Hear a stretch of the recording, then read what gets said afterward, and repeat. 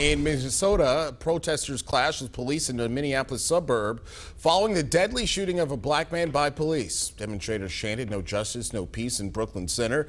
There have also been reports of looting and even shots fired into the front door of the city's police department. The National Guard has been deployed and a curfew is now in place. Police say Daunte Wright was pulled over for a traffic violation yesterday.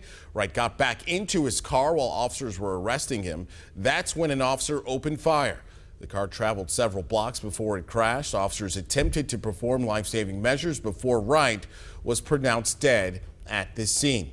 Wright's girlfriend, who was also in the car at the time, was taken to a hospital with non-life-threatening injuries. An investigation is now underway.